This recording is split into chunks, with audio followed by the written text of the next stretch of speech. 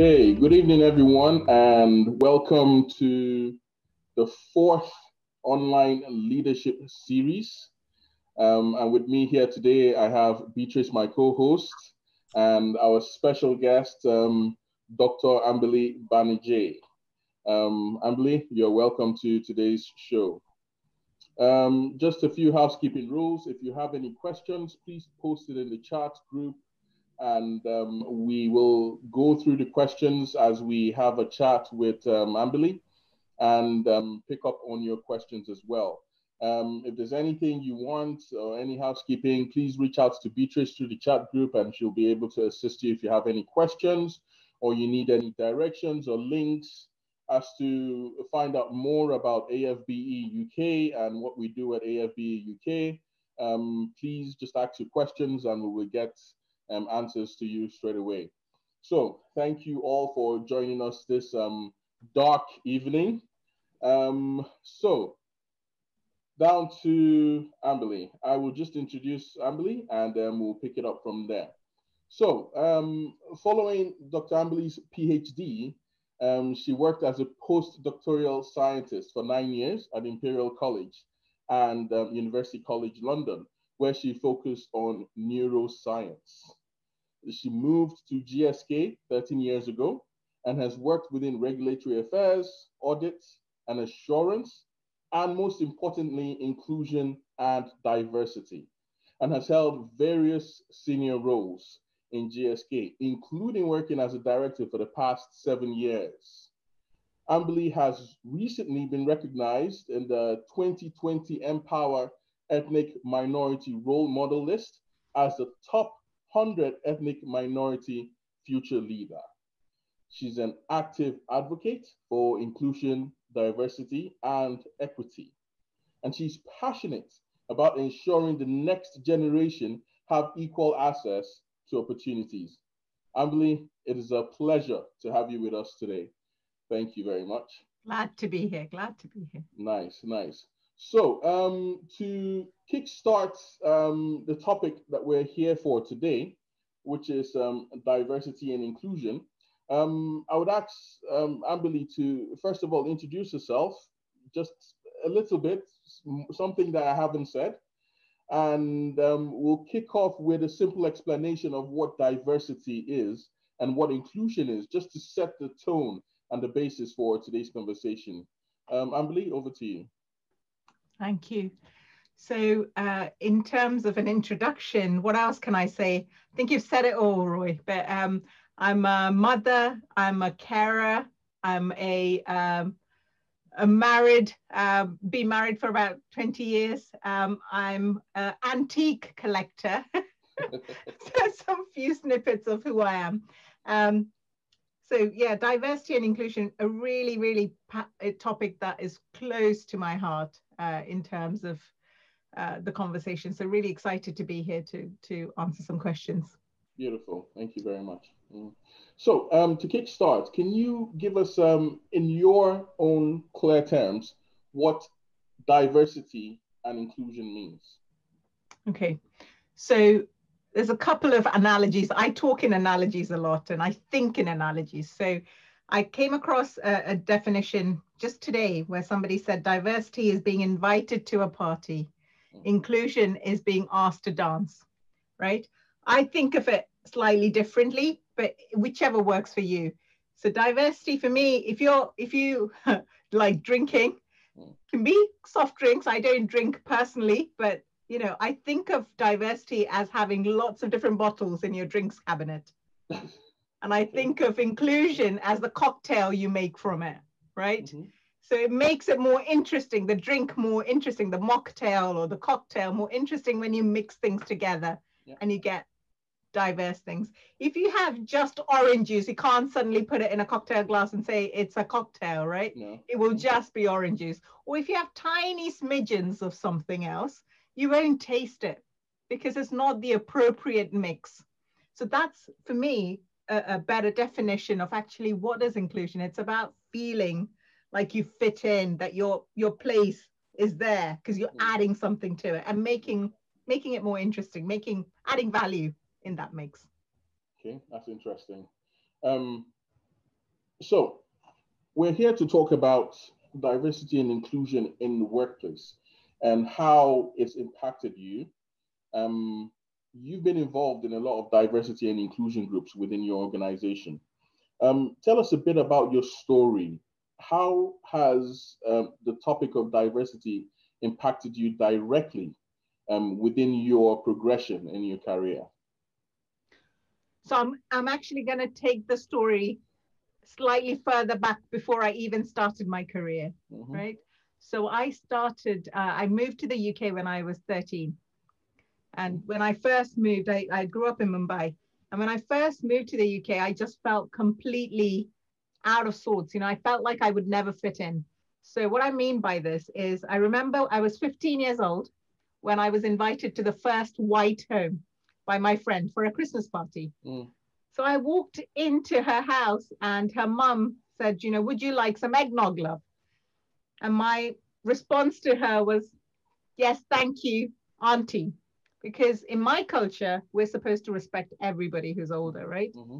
and i think the african culture is similar and i said auntie and they looked at each other and laughed and i didn't know what i'd messed up in those two words thank you and auntie what had not you know but i knew i'd messed up because the response didn't match right so to hide my embarrassment i take a swig of the eggnog now who knew that there's raw egg and milk and cream and alcohol mixed up in a drink served to kids, right? So I literally threw up, spat it all out.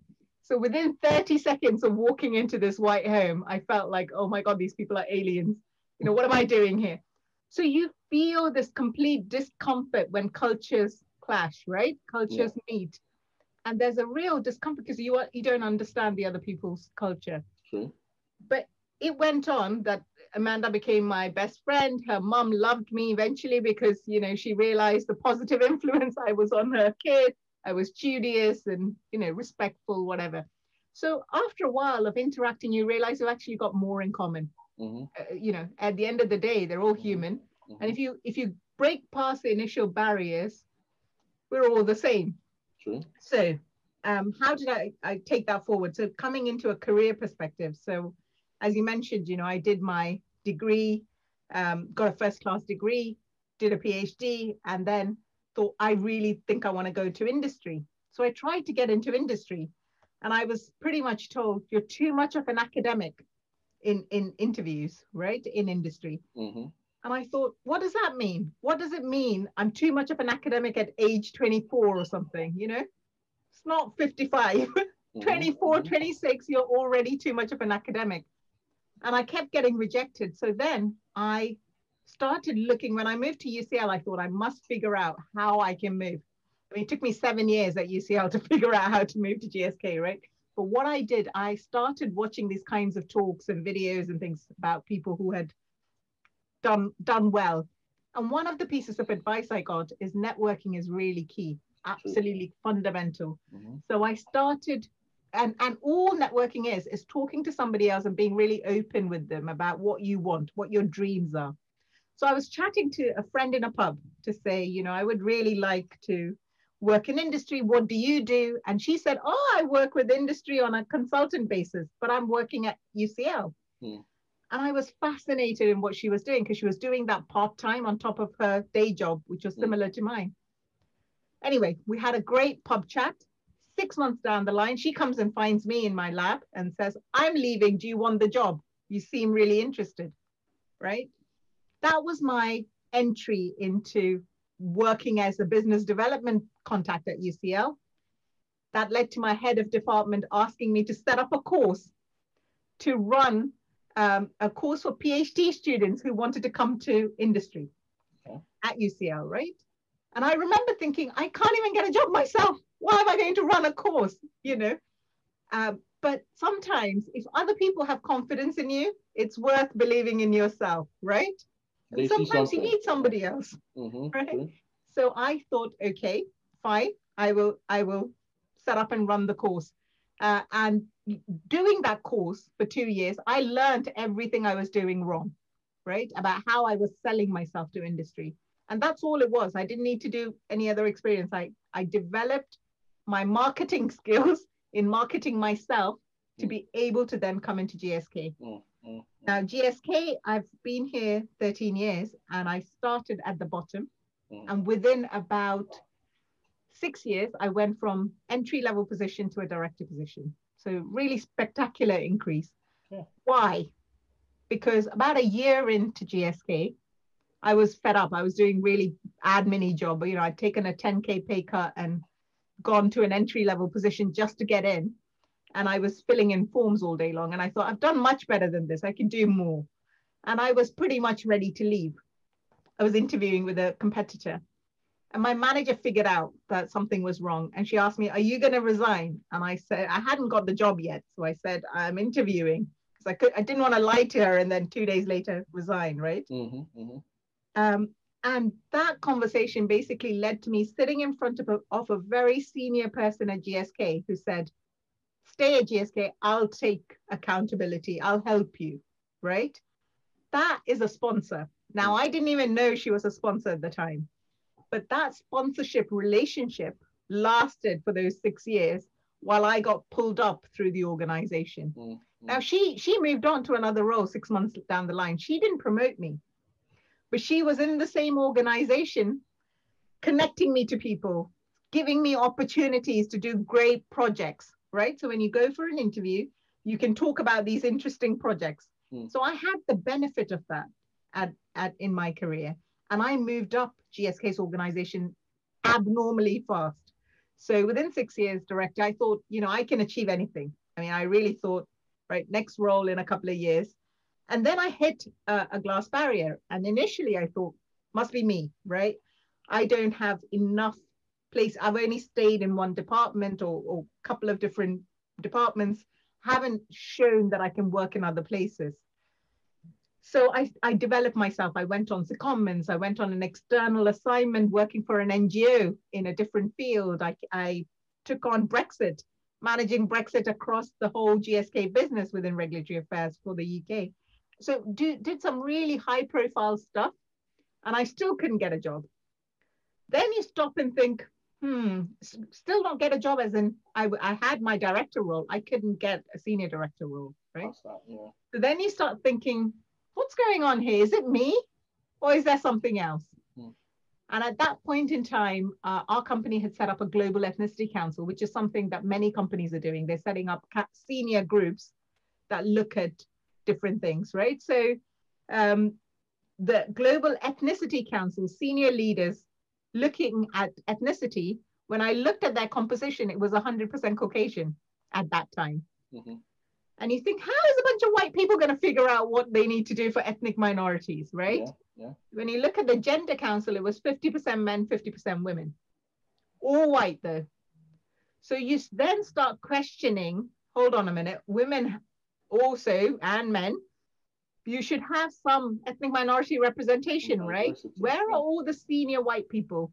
Mm. and the more questions i started asking i started realizing we're missing from the top. When you look upwards and that's the same for almost every british organization right? There are reports published that say this is a universal problem in the uk most organizations at the top there's hardly any diversity. Now, director sounds like a, a pretty senior position, but within GSK, there are many other positions on top. You know, we have vice president, president, etc.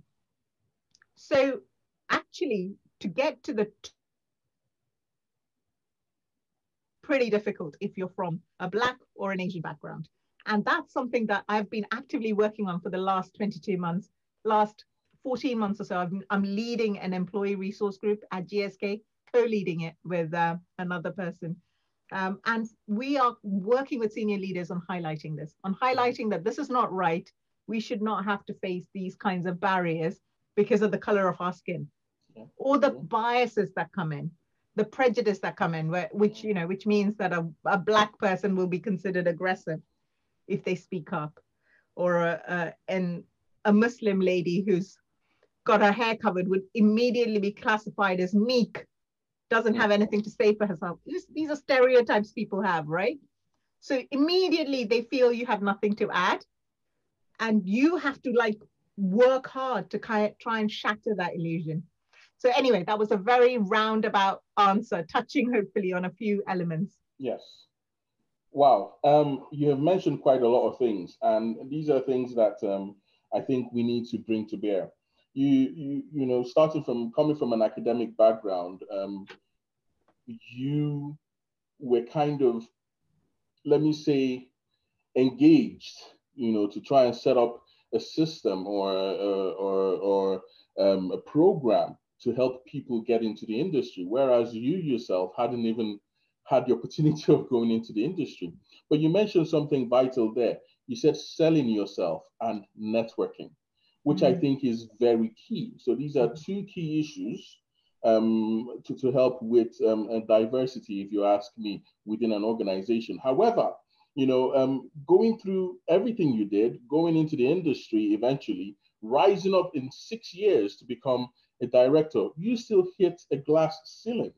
And that is, there's a problem, there's an issue, and there's an issue at the top, you know. And it's now that, you know, a lot of people are beginning to speak out on, on such issues with regards to, you know, diversity within um, senior management groups, you know, because you start at the bottom, entry level, there's a lot of diversity. There's yeah. a whole lot of diverse workforce. You go to mid mid level management, yeah, there's a few here and there, and you go to senior management or executive level, and it's like dead silence. There's nothing, you know. And these people are meant to take decisions that will affect everyone within the, um, the, the, the, company or the community or the industry. You know, so um, I would ask the question, how important is it for there to be BAME representation in every level, in your opinion? Absolutely critical. You know, every company should reflect the geographies they operate in, hmm. right?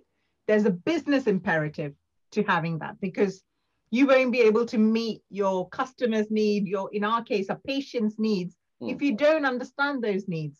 So from a business, purely business money perspective, there's a business imperative to do that. You also know that diverse teams are more innovative, right? Every company wants to be innovative. Mm-hmm. You get more innovation when there's diversity of thought. My, my question is, why wouldn't you want diversity? Why wouldn't you want all kinds of diversity? to reflect the population in which you operate within your company. Exactly. Right. So it's absolutely important to have diversity. It's funny. Um, I watched a, a show a while ago, and um, the lady was talking about diversity and inclusion and how we can solve such issues um, in, in our economy.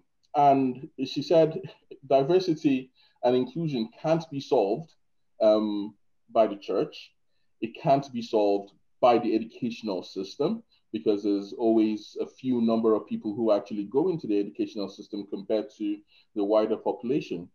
Um, but it can be solved by businesses because everyone in business, there's always somebody who is there to make money and there's always somebody there who's, who's there to collect the money you know and that means you know within business you have customers and you have the people giving the service and your customers are always varied. So your service should reflect, um, you know, the uh, the demographic and, and the diversity of um, your customers. So it's very important for businesses to be the one to bring about that cultural shift, to bring about that diversity within, you know, the economy.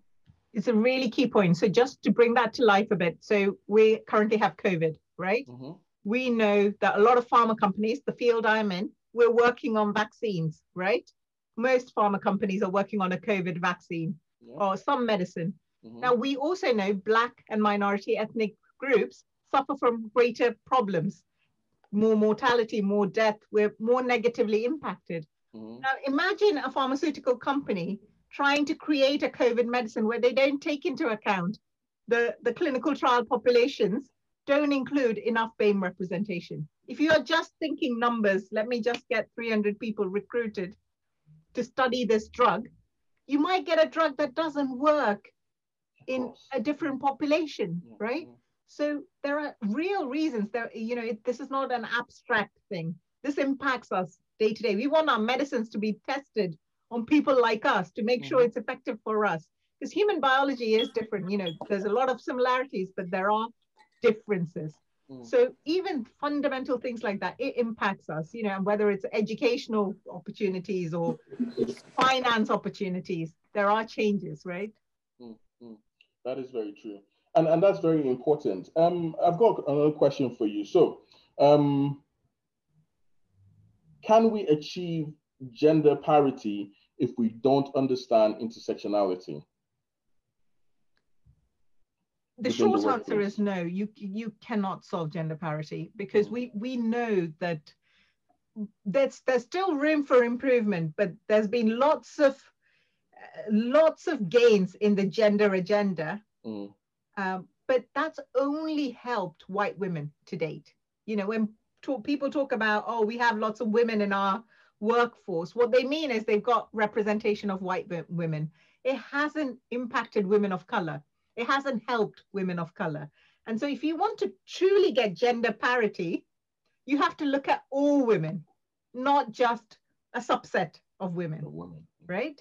So absolutely, you have to look at this intersectionally. And, you know, there may be a lot of people online who don't, never heard the term intersectionality, mm. which, uh, you know, it might be worth clarifying that actually intersectionality is about these multiple layers of discrimination causing people to have more problems than than they would normally. So, you know, if you're, you, if you're a woman, you're disadvantaged. If you're a black woman, you have even more barriers to climb over. If you're a black woman who's gay, there's even more barriers. And if you're a black woman, gay and disabled, then you know you've got to hurdle that high to to jump over, right? Mm, mm, and mm. that's what intersectionality is about. That we don't always just fit into one bucket. So where there are compounding effects, we need to take into account that people are multifaceted and they might have different things going on and mm. that each of them doesn't contribute on top to, to create a, a bigger hurdle for people. You know, equity is just about leveling the playing field. Let's treat people not not just the same, but in an equitable way mm. so that they have the same level of barrier to jump across to get a job rather yeah. than some people having to hit a high bar versus others. And others. Now let's go back to your career progression. Um, so you mentioned that on your after your first year in, at GSK, you you know you felt you had enough because you were doing less than you should have been doing. I'm, I guess a lot of people find themselves in that kind of position, especially in the workplace, where they have probably been in one place, they've probably risen, maybe, they've either become, you know, they've gone past the graduate level and they're probably still doing things that, you know, they they feel is not necessarily beneath them, but they can do more, you know. Now, you mentioned that um, you technically had a sponsor within your organization. Now, how important is it for someone to have a sponsor within an organization? What are the benefits? What are the pros? What are the cons of having a sponsor within an organization? So having a sponsor is fundamentally critical. Now, let me define the difference between a mentor, because people sometimes think mentor and having a sponsor is the same thing, and they're not. They're very different, right? Mm-hmm. So a mentor is just somebody senior who wants to share their experience, uh, and they're almost like a wise friend. They're giving you some advice right? A sponsor does much more. A sponsor is somebody who's pretty much putting their neck on the line for you. They're staking their reputation to, to advocate for you, to say this person's really good and recommend you for, for roles or connect you with their contacts by putting you in for, you know, in front of them. So they're taking a personal risk. Now it's fundamentally critical to have a mm. sponsor, mm-hmm. particularly as you move in higher grades. You know, it's been shown that having a sponsor really helps. Now, how do you go about getting one? It's not so easy, right? We know ethnic minorities are over mentored and under sponsored because people are not so comfortable putting their neck on the line for people like us. There's not enough ethnic minorities at the top for us to sponsor ourselves, right? So we need folks from a different race who might not feel so comfortable putting their neck on the line for us if they don't know us well enough. Mm. How did I get a sponsor? Chance, partly. But that chance was also driven by the fact that I was bloody good at my day job, mm. right? I mean, there's a thing that I, I grew up with thinking uh, it was just something that my family used to say to me you have to work twice as hard to be good enough. Yeah. But I've heard now that a lot of black and brown families have this in their home, right? A lot of us grow up with this mantra work yeah. twice as hard. Yeah. So we we kind of used to this advice. We have to work quite hard, but actually your hard work gets noticed by people, mm. and and your day job is what they assess you on. So you have to always be performing really well on your day job for people to then go, if they see that themselves, they experience that you're good at the job, then they have confidence in you mm. to take that on, right? So that's part of how you go and get it. If you don't have a sponsor, the the con is that you then have to make those connections yourself and go in front of people you don't know, try and build that connection up yourself. And again, it takes time for that person to build trust in you. Mm while you have to keep going with the day job, right? Because you can't afford to just make network connections and let your day job fall. Exactly. So people struggle to find the time to do both. Because if you have to perform 110% in your day job, but at the same time be making networking connections, mm. where do you find the time? Well, I guess you have to create that time, as, as they will say. You know, it's all about, I think, um, priority. Now, you having a sponsor means, uh, from what I gather, is the sponsor needs to trust you. Absolutely, absolutely. Now, to build trust means you have to have a relationship or some form of relationship, either a work relationship or a social relationship. Because you know, if if if let's say the people at the top or the potential sponsor is not same color as you. You know, he doesn't understand your values. He doesn't understand your culture. You know, um, so that means you know there needs to be some form of communication. Uh, there needs to be some form of exchange, if I may put it that way.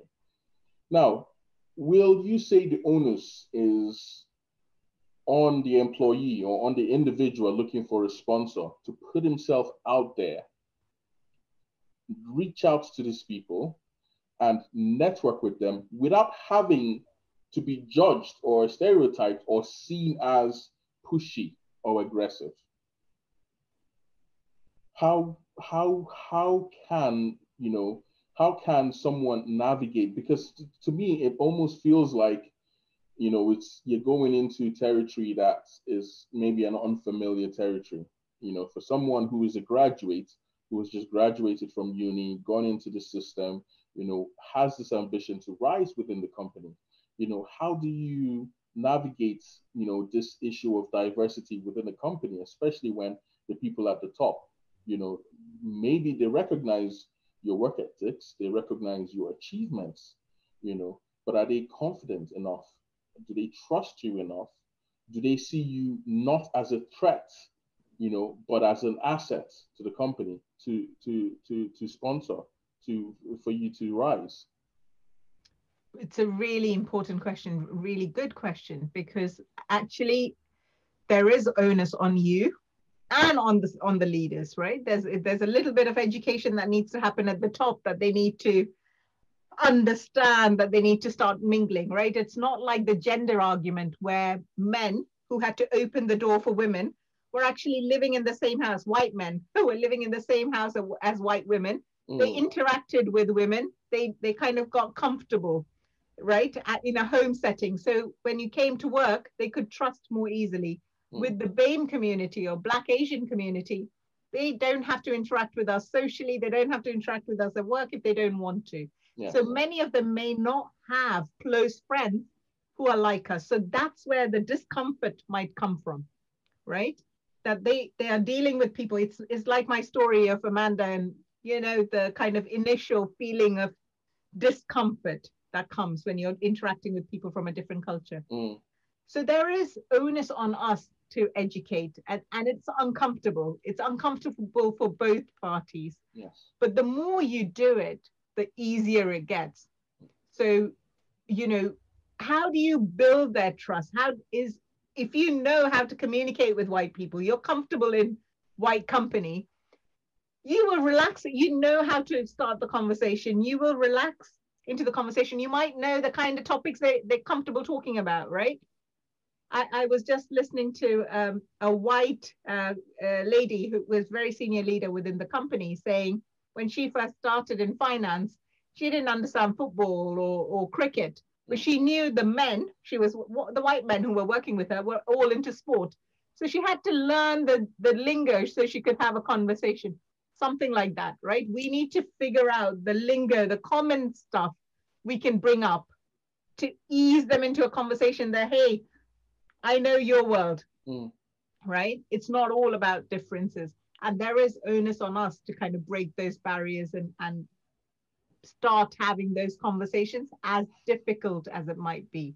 But we definitely need to educate our senior leaders to start opening the door for these conversations as well. So, so, so, in my opinion, now, so that means there needs to be some form of education at the top level. Absolutely. Um, but from our own perspective, from our own level, we also have to, um, let me say, adapt. And adaptation means rediscovering oneself. And, and you can do that by either engaging in things that you know um, these people find themselves to be interested in. For example, golfing. If if you know that senior people in your organization, because you know I'm in the entrepreneur space, and and a lot of deals get made on the golf course. You know, so I, I've already signed up to learn how to play golf because I realized, well, I, I can't beat them. I have to join them, and I want to be successful. So what that means, I also have to take steps, active steps, you know, to put myself in a position where I can have meaningful conversation in a less corporate environment, because I think that is very key. You know, because that is when you you you you are able to get the best out of these people. Is that it? To some extent i mean i don't uh, you know i don't know if everybody would feel comfortable taking up golf or, or anything like that. you know that yeah. is against the grain. What i would say is even small steps matter right? Sometimes for us we we just think they won't be interested in even having a coffee Mm. right? So covid has been a great leveler to some extent. You know before the kind of face to face asking them for a favor might have felt more uncomfortable. Now we're used to emailing everybody and Mhm. actually you might be brave enough to email a senior leader you've never met before to say Mhm. hey would you mind having a conversation? I'm really interested in your area. And just getting comfortable in your own skin in making that first approach. You know that's what i mean by actually putting yourself out there is is kind of taking gentle steps. You don't have to you know know about skydiving because you think they're a brilliant skydiver Mm. but but small steps and trying to to figure out the more conversations you have you learn Mm. you know what what are they interested in how, how do you learn to pitch yourself the way they want to hear they might have conversation starters yeah they might, might all start talking about the weather or the holiday or the whatever you ease into those gentle conversations where you start feeling comfortable Mm. and that's what it is it's kind of getting comfortable in white company because they are the majority right in the population and if we need to proceed we need to break down their barriers and their bias towards Yes. us Mm. best way is we educate them in a very gentle way where they don't even feel like it's an education Yes. similarly we have to break down our biases about them and let them in right so it's a two-way street but yeah making it easier on ourselves the more we interact with white folks. I, i'll tell you uh, today because i moved here when i was a child you know i grew up around white folk and i go on holiday with them right? And there are still times when i go on holiday now there are things they do i think what? You know like after a shower they might be wandering around in their shower thing and i'm like jesus i, I go in with four layers of clothes you know? I don't get it. But I kind of know that, that that's something that I don't have to do, right? This is about accepting differences, letting them get on with what makes them comfortable, mm.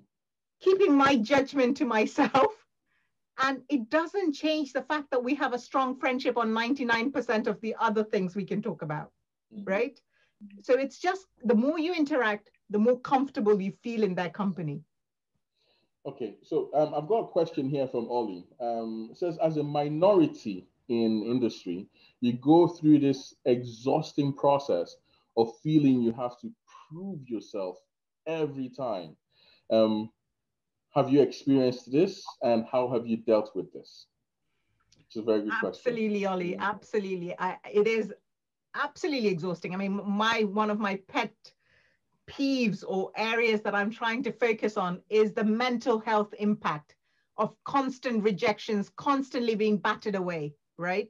And it's a real concern of mine that we are facing, apart from societal injustice and all of that, you know, even at work, we, we face so much more barriers.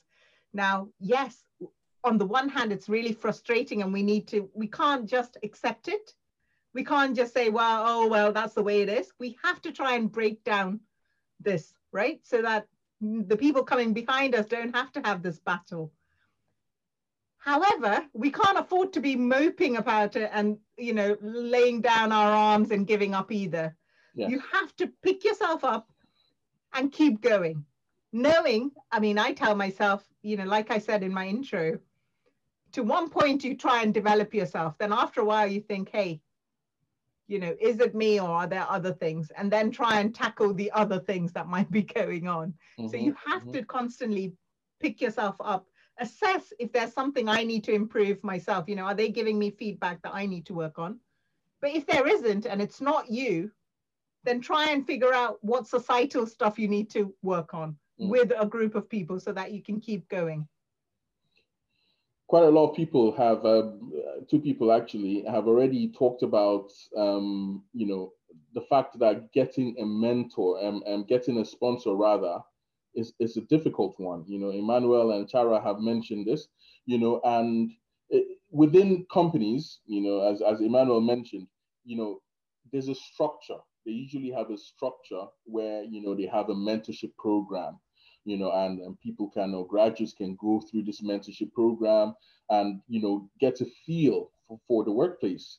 However, how can can a mentor be flipped to become a sponsor is another question in my head you know how is, it possible for and, and and that depends on if the mentor is senior in most cases a mentor will be somebody who is at, at least higher than you you know at least a line manager or a supervisor within the organization. Is it possible to flip a mentor to become a sponsor in, in, in, in, in building that relationship? Absolutely. I mean, mentoring is a quite a safe relationship, right? They can be relative strangers, but mm. a mentoring relationship can go on for quite some time. Mm-hmm. right and then towards the end of oh, you know once you've established a strong relationship they're a friend they're a lifelong friend almost right mm. and I've had personal experience of where a, mentor has flipped to a sponsor. So I had another white lady who was uh, my boss uh, in one of my projects that I was working on. She wasn't my line manager, but she was someone senior mm. in the who could see my day job. And this lady started giving me, you know, development opportunities, development chats. So when I finished, stopped, changed projects, went on to work somewhere else, I went back to her and said, "Will you be my mentor?" So she became my mentor for a while. And then um, at one stage, she was the one who was instrumental in me getting my first director role. She was actually leaving the company and they had changed, downgraded her role to a director role. And she said, I'm not staying here in a junior role. I'm off. And she told me to apply for the job. And I honestly went to her saying, No way, this is, I'm not ready. Mm. I won't be able to do it because she had been my mentor, she forced me to apply. Literally, I'm not joking. She literally said, Ambily, you can do this job. Talk to the hiring manager. She forced me, she gave me all of the, I mean, I didn't need to tell her what I could do because I was telling her all the reasons why I couldn't do it. But she told me, as my mentor who knew me inside out, she told me all the reasons why I could do the job. Mm. And it was her job, right? That they had downgraded. So she knew the job So again, chance plays a big part in people's lives, but you have to somehow make the chance. Had I not asked her to be my mentor, I wouldn't have had that relationship. And you can have multiple mentors inside the company, outside the company, in your line, in a different line, you know, and very rarely, if you reach out to somebody that you see who's inspirational and say, hey, would you mind having a 20 minute chat with me?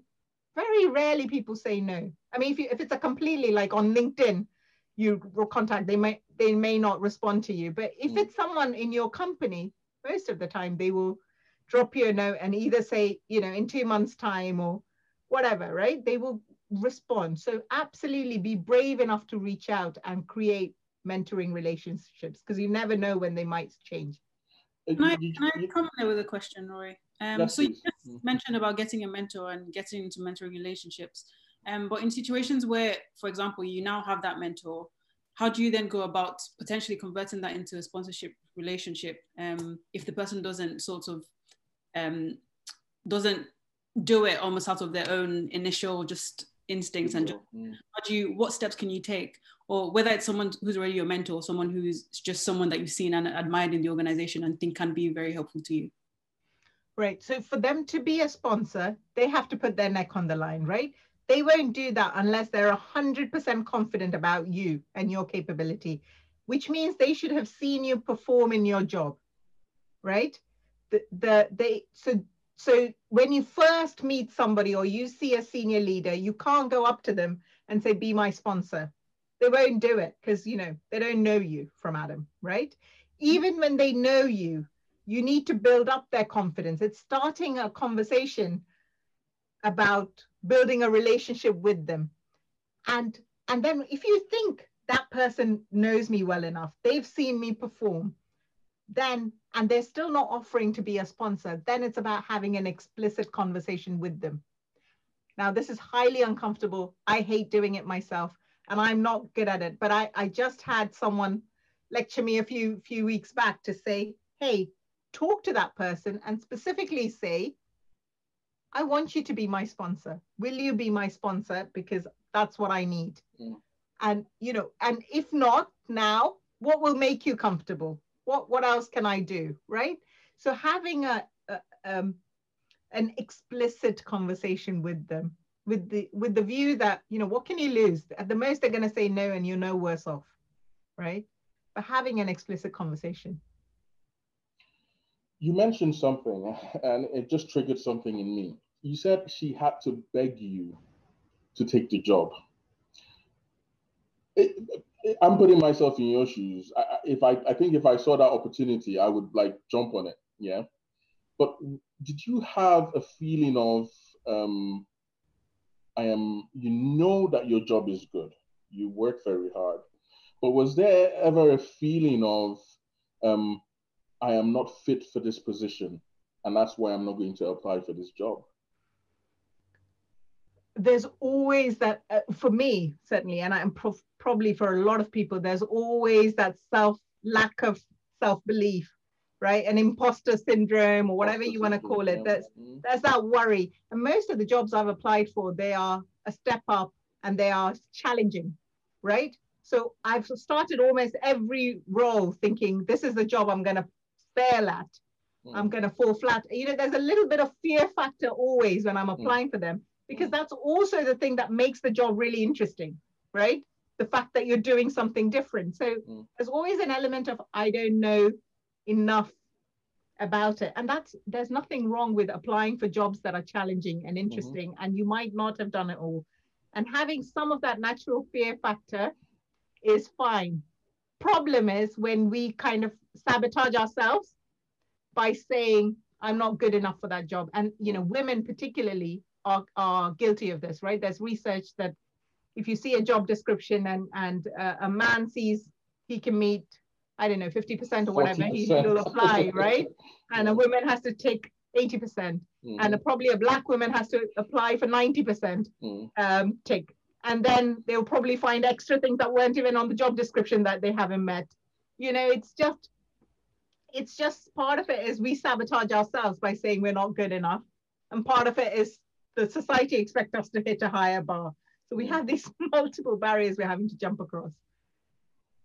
So, so to me, what that seems is, you know, to be able to get past this barrier of, of diversity within the workplace, we need to step out there and apply for senior position roles, regardless if if we think that you know, um, because there's always this below the line thinking, oh, I'm not good for that job, or you know, they they they put some caveat and say you need to have um, business development experience for 10 years, and meanwhile you almost basically don't have any, you know, but you understand business, you know. So I guess the thing is we need to put ourselves out there and apply for senior position jobs and that's the only way we can break through you know this whole uh, diversity that has been you know sectioned in, in, in across the industry you know the only way to break through is apply go for the job apply yeah. you know but if you're not in the running yeah absolutely right if you're not in the running you're not going to get it and if you think you can do the job you know don't apply for random jobs as i don't know course, me applying for an animator job and i have no creative experience. I'm not yeah. gonna, mm. but if, if you feel that you've got the skills that they're asking, mm. don't underestimate your capabilities. Put yourself in the running and see how you go. And, and tailor your CV for the job. yeah. I mean, sometimes it becomes more apparent when either the person who's your supervisor or your your your line manager or something within a company, you know, you work with the person and you're like, does this person even know what he's doing? You know, you I, I've seen, I've been with a lot of people of BAME origin who have had such issues with their senior management. It feels like, you know, it's a title that they have, but when it comes to execution of that role, they're seriously lagging behind, you know, and you tend to see that across the industry. Anyway, I've got another question to follow that. Um, what this is from Ollie again. What would your advice be to companies trying to improve representation at senior level? So we're obviously actively doing this within our own company. Mm-hmm. So my advice to senior leaders is sort of threefold. One is they need to be good role models because talking about race and ethnicity is something that makes everybody uncomfortable. Yes. They don't want to talk about it, but they have to talk about this because there's a serious problem. Like we talked about, you know, there's lack of diversity at senior levels. Mm-hmm. They need to acknowledge there's a problem, start role modeling leadership, talking about the change that needs to happen, mm-hmm. open the door for the employees to feel like they can talk about the issues within their company, right? Because until the, the senior leader asks for these conversations and listens firsthand to what's going on in their company, they won't know how to fix it and they need to fix it, right? So opening the door to saying, we really want to do something and role modeling those behaviors first. Second thing, they need to look at their data. Now, data is almost like a swear word. You know, there's a million excuses. Oh, we can't do it because race is so complicated so many different classifications and do you look at all of BAME or do you just look at black population or Asian pop all sorts of questions and my advice to them is there are many companies doing this already so look at your peers figure out who's a market leader so I always cite EY EY eh, Accenture those companies are doing amazing work right go look at what they have done look at their annual reports figure out how they have managed to do it so if I'm challenged in a multinational company, I can't collect data on race because different different countries have different definitions of race. Yeah. And you know, it's really difficult for a global company to do this. I say, well, HSBC do it, Lloyd's do it. They're multinational companies operating in multiple geographies. They might not do it in the countries where it's illegal. They might only do it in their main company countries where they've got senior leaders, right? The UK, the US, Singapore, whatever. So pick the model that, that you can see your peers doing and figure out your data. Because once you get data, you can then put an action plan that's targeted for you. You figure out whether your problem is attrition, your problem is recruitment at the lower levels or higher levels.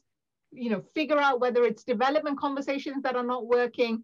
Figure out if your hiring is working. But unless you have data KPIs, you can't move on this. The last thing is, I tell them to be accountable themselves. Mm. Don't delegate it to HR or to I&D teams. Leaders, business leaders within their functional groups need to take accountability for making change happen in their lines.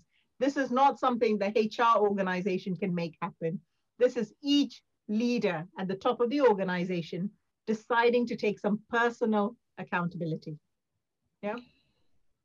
Beautiful um, suggestion. And now the, the, the, thing is, I I, I watched um, a, a show a while ago, and and what it said was, you know, it's not about the data. The data exists. It's all around us. We see it. Even yes. without the data speaking, we actually see this um, um, disparities. Now, it means there needs to be active actions set within organizations. There needs to be um, consequences as well, which will be set. You know, so actions, responsibilities, accountability, and finally consequences that need to be set. You know, within organizations, because if you're not achieving something, then what happens? It means you're not achieving. It's the same thing. I'm in sales. If I'm not achieving in sales, you know, they call you, they speak to you. If you don't achieve again, they fire you and they bring in another salesperson.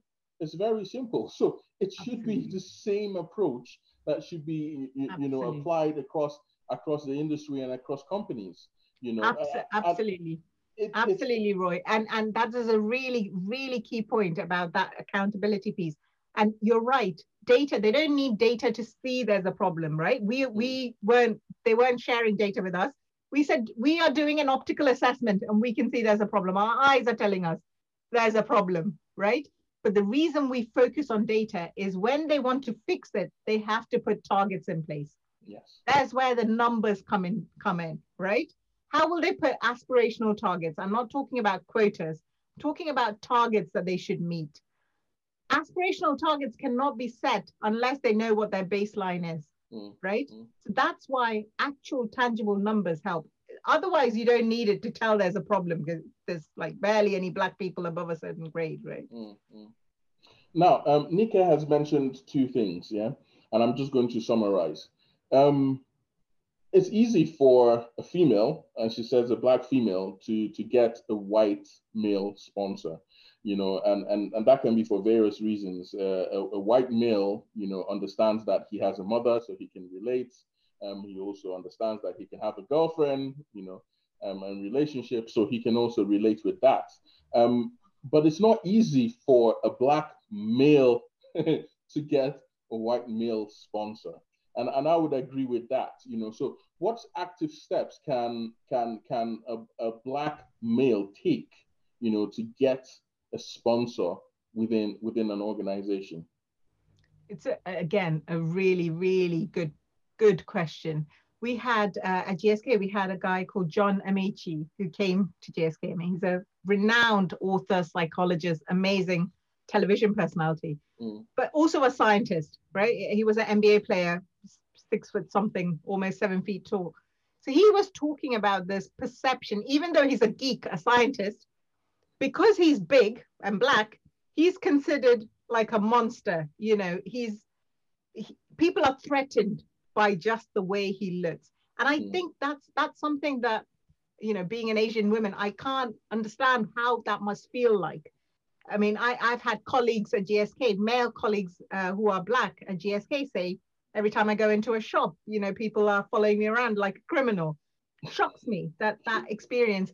So that there's a, you know, there's absolutely I, I know that black people are the most discriminated against in the world right and there there is this barrier and that we need to kind of figure out how do we make these people comfortable having conversations and stopping to starting to treat people like human beings rather than these kind of perceptions or stereotypes or whatever. Yeah. So this goes back to the organization trying to build allyship trying to kind of break down barriers, trying to understand the Black experience. So we, within, within our company, we do a lot of allyship training, talk about microaggressions, bias, what's coming in, what the Black experience actually looks like, whether it's in the US or the UK, you know, trying to kind of bring to life that racism isn't something that just happens in the US, or black people getting murdered by police isn't just a US thing. You know, and bringing in these life experiences, I think it can be powerful. Yes. Now we are starting to have senior leaders actually actively ask folks to come in and share their experiences. Now that's a double-edged sword in itself because sometimes you know the same black people have to be rolled out because they have to talk about their experience to educate mm-hmm. these people, right? Mm-hmm. And it's it can be very emotionally mm-hmm. draining. But that's the only way at the moment to educate these people into understanding how difficult it is.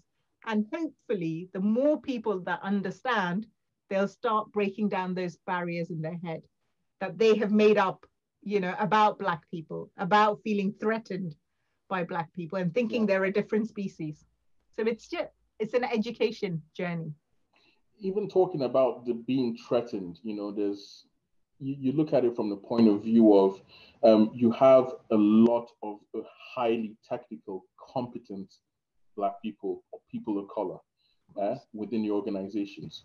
And you find that some of these white people are actually threatened by just their main skills, you know, the kind of skills mm-hmm. that they have, um, their level of interaction within the company, and the, the, the, their KPIs that they meet up with, their targets, you know, so they always find some way to either um, be biased towards these people and kind of, you know, suppress their rise, you know. So what happens, um, and, and maybe we'll close with this. So what happens in a case where you have this glass ceiling standing right above your head in the form of, you know, maybe an individual, you know, or, or something that stops you from rising up in your company, what would you do? What would be your advice in such a situation? So you can't give up that's my single biggest advice because this mm-hmm. exists. I mean, this is a an institutional issue, right? And yes. it exists across many companies. It's not like I can advise you go to another company and this won't be a problem. Mm. It, I mean, you might be able to jump across to a higher grade in a company immediately, but you will hit that glass barrier because almost everywhere there's this glass barrier. We we have to keep trying to break it break it down. And that responsibility lies with every single one of us. Okay. You know, it lies with, there is a tendency that sometimes when you crack through that glass barrier, you then forget about the people coming after you. Mm.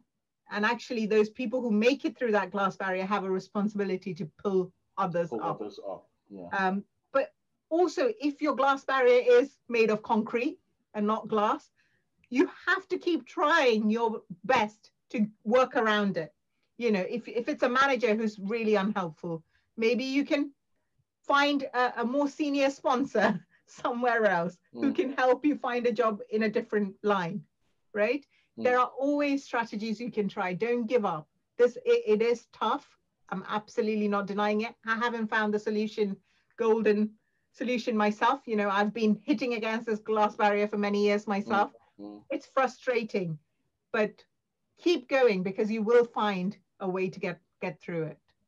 And and know that there are lots of people like you. You know i get strength from sharing stories with others who are in the same position because then i know that i'm not a failure you know know that about yourself it's yes. not you the system hasn't been set up to help you yeah. so you know it's amazing that we make it as far as we do mm-hmm. so don't mm. beat yourself up stay strong keep trying and on that note, um, Ambily, I would um, like to end this call today.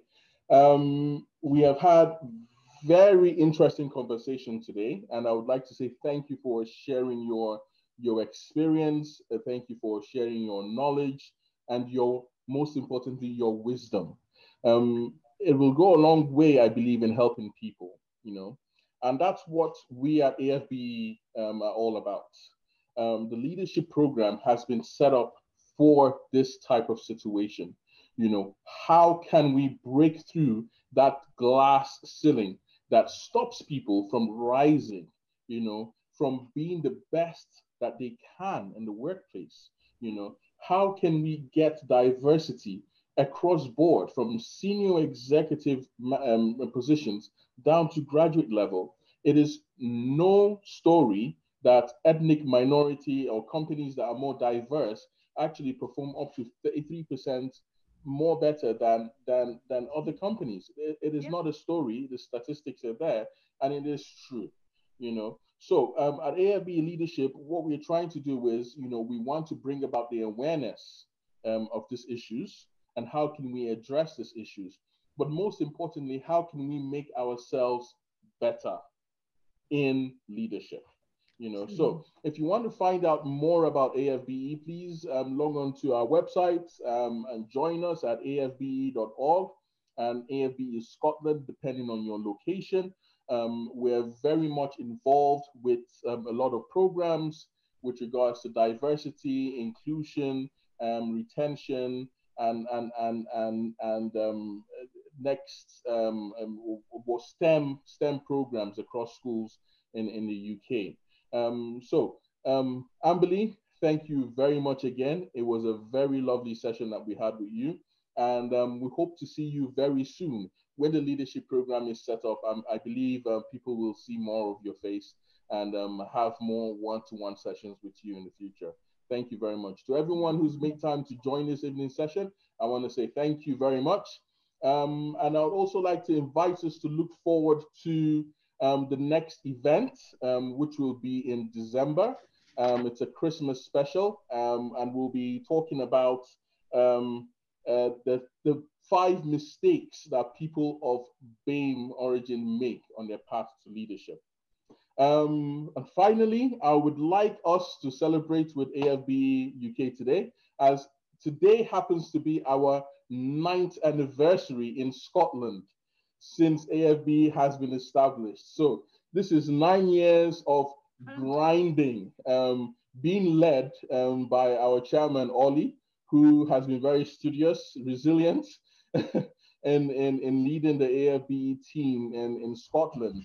Um, right now, we, we have gained a lot of recognition within the UK space. We have a lot of members, and we would like you to join us and celebrate with us and be part of AFBE. And as we always say, be part of something great. So thank you to everyone who has joined, and I will see you on the first Wednesday, which is the 2nd of December for our Christmas special, five mistakes that people of BAME origin make. You know, um, it's one that shouldn't be missed. So I will see you all there next month. Thank you very much. Thank you, Ambily. Thank you. Thank you for being a wonderful co-host as always. Um, look forward to seeing you again.